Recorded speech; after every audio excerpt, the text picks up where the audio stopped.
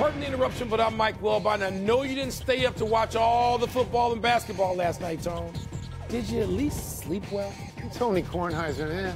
I had a weird dream that I hosted this show from home the last four years. Okay, Bobby Ewing. Were you in a shower when you woke up and realized this? So Dallas did the dream sequence. Yes. And Bob Newhart did the dream sequence. Yes, the old, the, On the the new, second new Bob show. Newhart show, and the uh, second show. Suzanne Pleshette. Yes. Wakes up, Emily. Yeah. We've lost all the audience by referring that far back. Just Hi. Pookie. I'm gonna get. Welcome to PTI, boys and girls. In today's episode, the Pacers and Pelicans advance. The Heisman finalists are set, and I'm back, baby. Don't get used to it. Don't get used to it. Promise, And we promise. begin today with the Monday night game, where Cincinnati upset Jacksonville in Jacksonville in overtime, 34-31. The quarterbacks were the big story. Both Jake Browning and Trevor Lawrence completed a huge percentage of their passes. Browning was at 87%. Lawrence was at 76. Wilbon, do you want to start with Browning's surprise success or the fact that Lawrence sprained his ankle and had to leave the game? To me, you got to start with Trevor Lawrence because they were looking good. It was a tight game, but with Trevor Lawrence in there, I suspect that Jacksonville would have won that game in Jacksonville with Trevor Lawrence playing well. And then Jacksonville would have been the number one overall seed in the AFC today. They would have, I guess, won a whatever tiebreaker with Kansas City and been the number one seed. But but I hope he gets back in two or three weeks. Baltimore at least high ankle sprain. Well, with Baltimore. Okay, with Baltimore. But Tony Browning, and by the way, you think I lost some audience already? Browning in Cincinnati means something else to us. Remember Tom Browning? Yeah. Pitcher on Yeah, the Red pitcher. teams that won the World Series one year. And he threw a perfect game, if I'm not mistaken. Anyway, this Browning, how do you come in and play that well? Okay. How do you you you just you walk in off the street, no one knows who you are outside of the what is it, the Queen City, and you play that well? So let me just say this, because I'm one of those people you're talking about. Man. I had no idea who he was. No. I did not even know Browning's name. I, I mean, I just assumed, Mike, that when Joe Burrow went out, Cincinnati went out. So this kid comes in, he throws for what do we got here, 354 yards. That's great. Um, this is what you were talking about yesterday in a different context, in the context of Florida State. But you made the point that sports provides us the opportunity for people, unknown people, to come in off the bench and win a game or two. Now, you mentioned Lou Gehrig and Well, Tom Brady. I'm not. I'm not going to go to that with Browning, but he had a great game. But you are, you are absolutely right that the essential story of that game is Trevor Lawrence going out. Because all the pregame chatter is about what you said, how they could be the number one seed in the AFC. That storyline goes away when he's stand, you know, he's trying to get up on his feet and he can't play. I don't know how long he's going to be out. High ankle But right now, Mike, if he can't play this weekend, if you took the seven playoff teams right now from the AFC who would Yeah. qualify, four of them will be without starting quarterbacks. Indianapolis is without one. Jacksonville, Pittsburgh, and Cleveland are without them. Quarterbacks, they've gone, and some of them have gone down this year, not last night, without contact. Like Yeah, Aaron Rodgers, Aaron no contact. But but Tony, yes, but yet you've got to invest something, if not as much money as you'd like, because Burrow makes all the money. That's right. You got to invest something, scouting prowess, in getting a backup quarterback because the odds your starting quarterback That's right. will be hurt are higher So, than Mike, you want them to so be. you get Josh Dobbs, who gives you two to three weeks of magic, Yeah. but the magic goes away. There's a difference.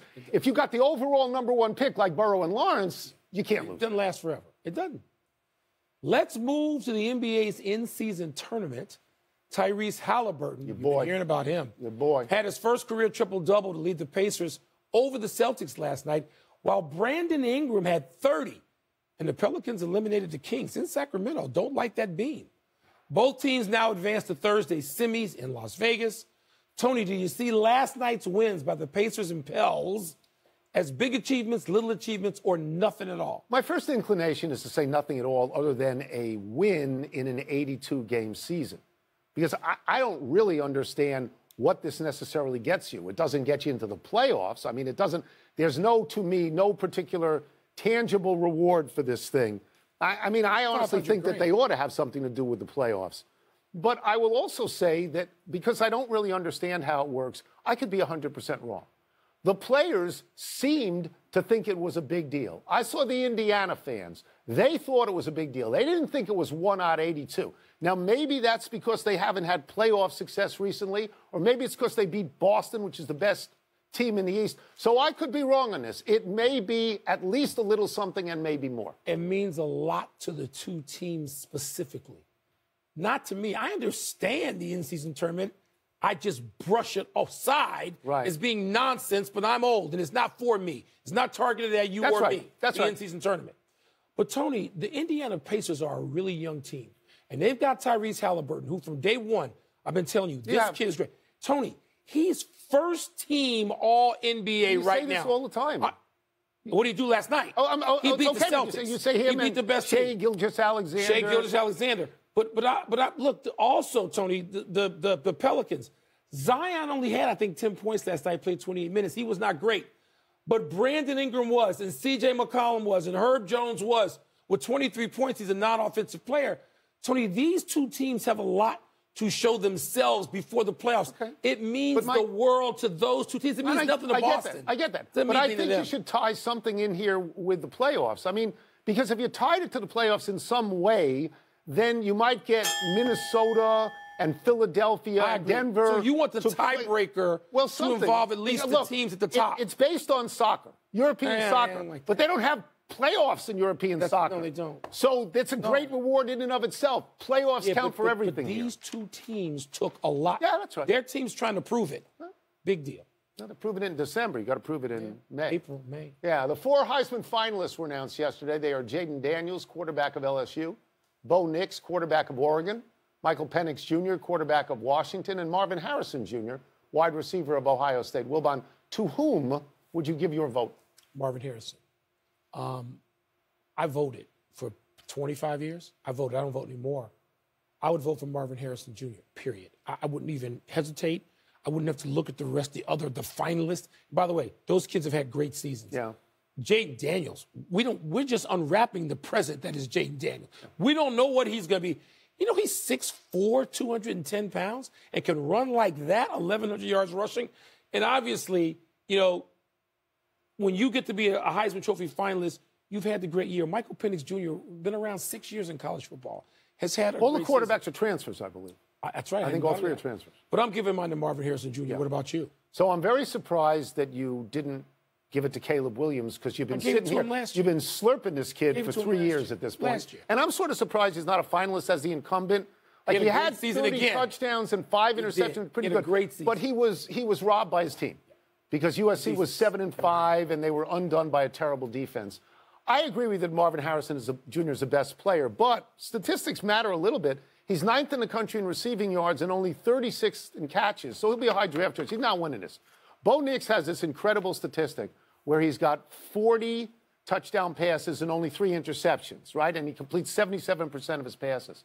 But he lost the two most important games to Michael Penix Jr., Yeah, so it's not gonna who doesn't Nix. have his stats because he completes 66% of his passes and he went 33 and 9 with touchdowns and interceptions. So for me, it's, it's Daniels. He's the safe and reasonable choice because not only did he have 40 touchdown passes and only four, Four interceptions, so that's Nick's territory, but as you say, 1,134 rushing and 10 rushing touchdowns. Yeah. So I. I don't know that you can go anywhere but him. I don't know that you can. Marvin Harrison Jr. In the pros. reason he doesn't have the numbers is because Ohio State was beating people 50 to 6, and he didn't keep throwing the ball. And they got other receivers, too, who are going to be in the league. Yeah. Marvin Harrison Jr., if he was on an average team, he'd have 200 catches in a college season. He's that great.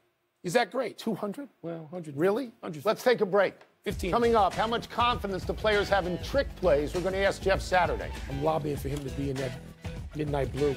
We'll also ask him about a below the radar issue that he thinks contributed to the Niners beating the Eagles. He wouldn't have 200 catches. No, 130. And by the way, his quarterback just went into the portal.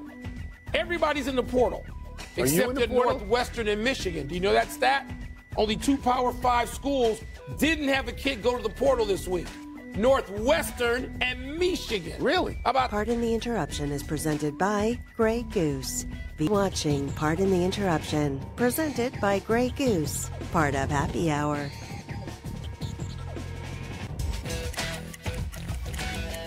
Let's get back into the NFL with our great friend, E ESPN NFL analyst Jeff Saturday. I got to go to the glasses here to read these.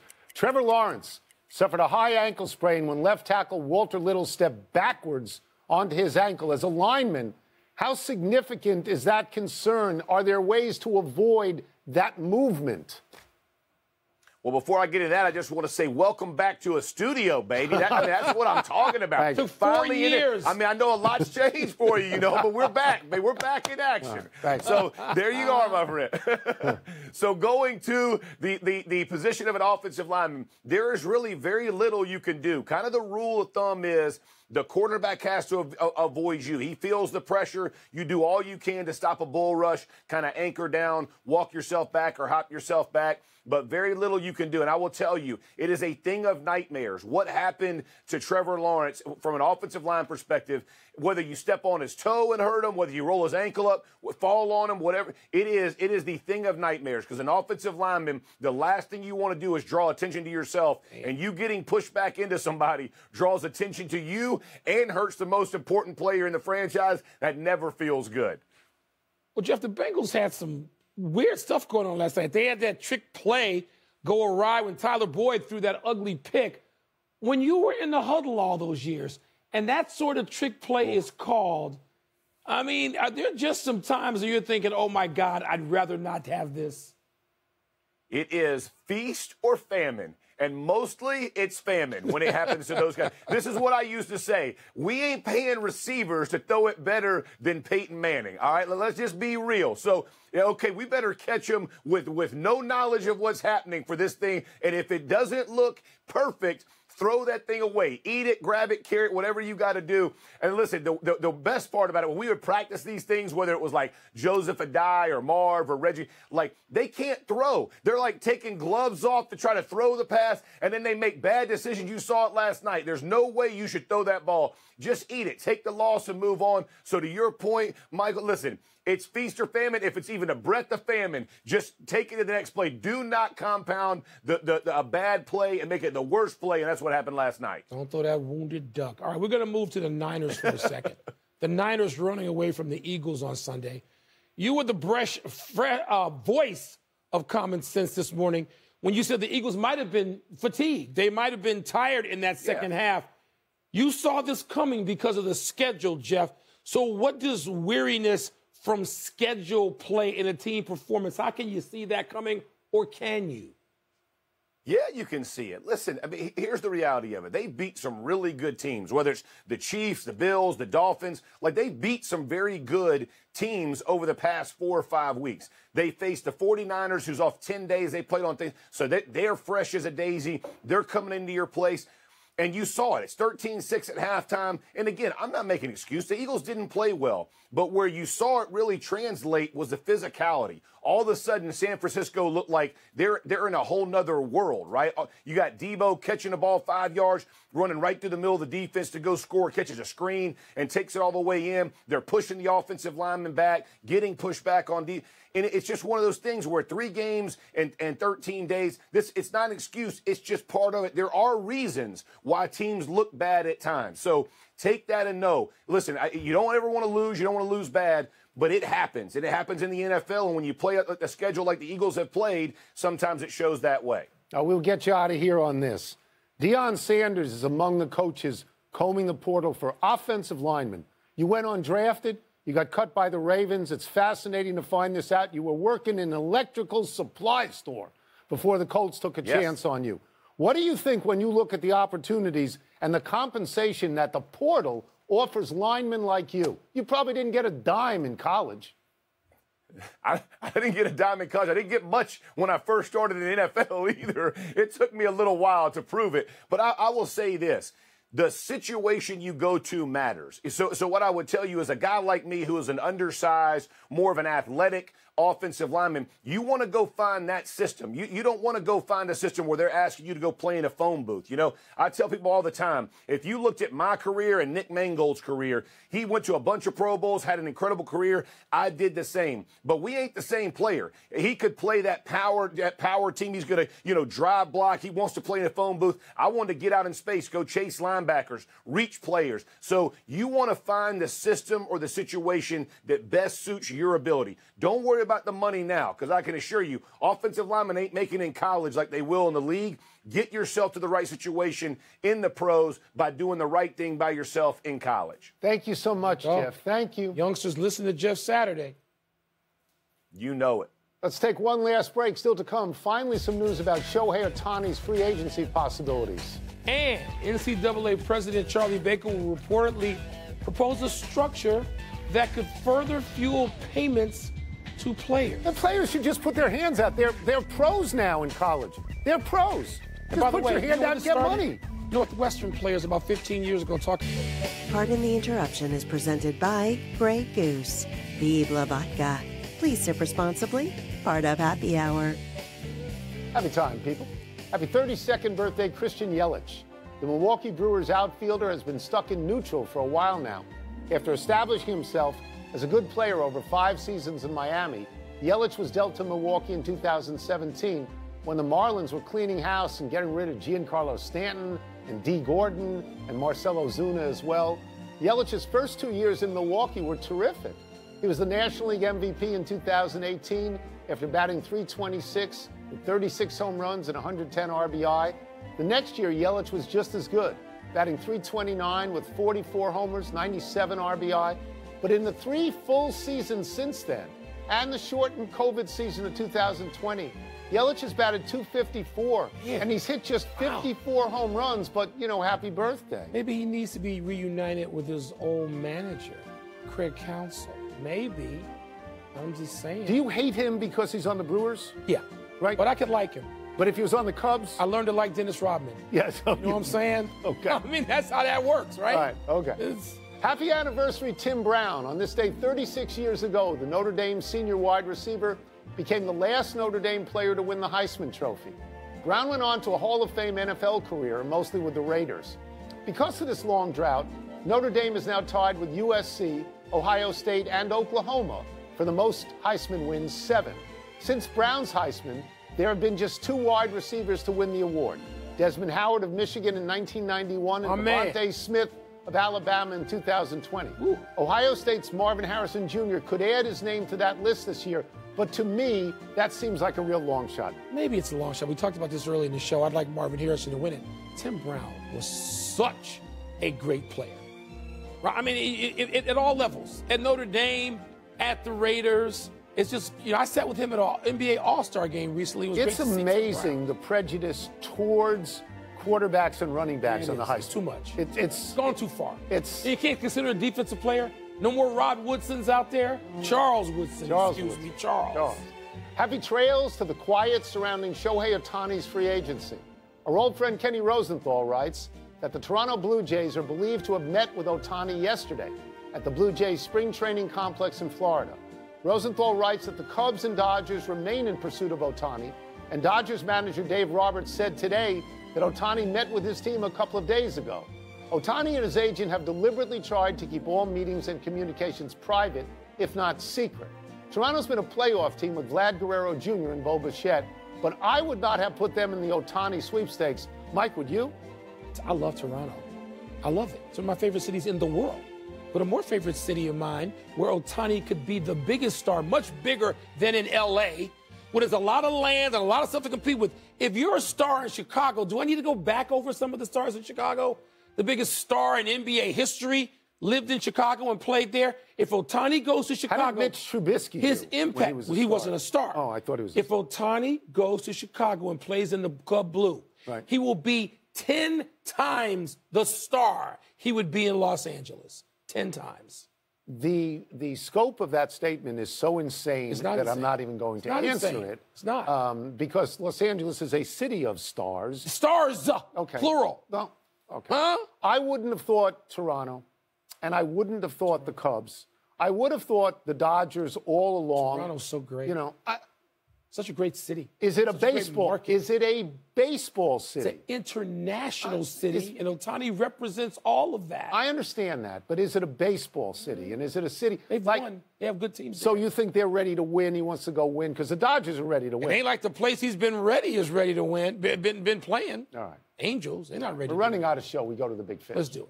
Caleb Williams will not play for USC in the Holiday Bowl. I take it it's all right with you. Yes, Caleb Williams, it's time to go to the top of the draft board. Enough with a minor bowl game.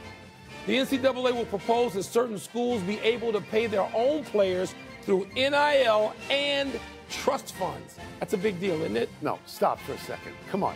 The NCAA was against this for 100 years. Yes, it was. And now they're trying to climb on board Thank on you. the top of the bus. Thank you. These guys are professional athletes now, not student athletes. Don't need the. NCAA. Amen. Pro Football Talk reports that the NFL's competition committee is reviewing the tush push play again. Your thoughts? Everybody knows Goodell hates it, so they'll review it and they'll probably get rid of it.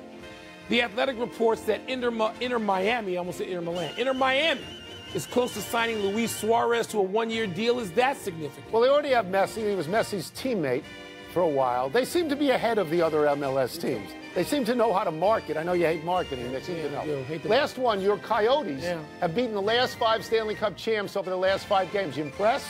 They beat the Caps six nothing last night.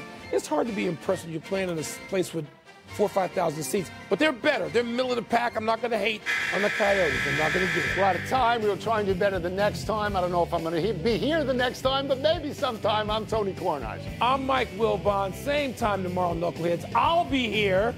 Well, I'll be in Vegas. You're not gonna be another here. Story. That's why I'm You not get gonna the be here. PTI podcast on the ESPN app or Apple Podcasts. And now we're not there either in Bristol. I need to have Here's your sports. schedule for the next few you months. You can have it. Let's go. Write it down. Vegas, Write LA, I'm Scottsdale. Let's go. Stop.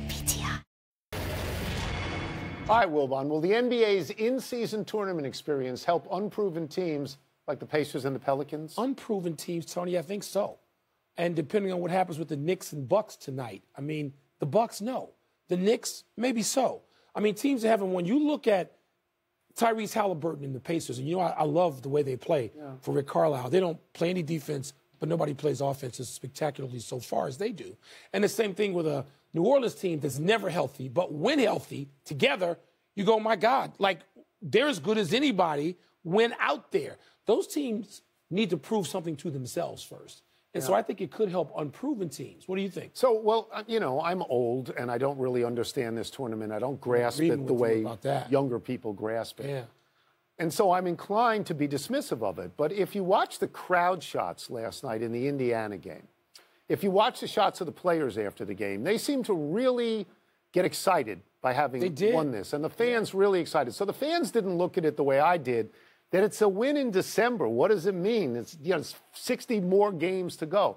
They seem to think it was important. So if we separate this out into teams that have not proven anything, and this is the thing that they can prove, that they can win an in season tournament that hadn't been contested ever before, except in European soccer leagues. If they can win that, then I can see benefit for it there. And if that happens down the road, then I can see teams like Philadelphia and Denver, you know, that didn't seem to care about it this year, caring about it down the road. Yeah, I, Denver shouldn't care about anything until we get to like May 1st.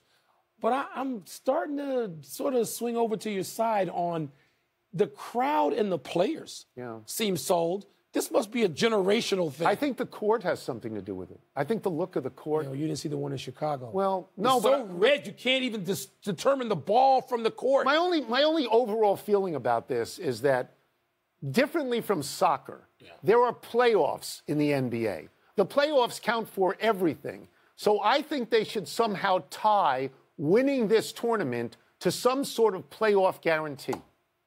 Tiebreakers, maybe. Stop with the point differential. Again, theft from soccer.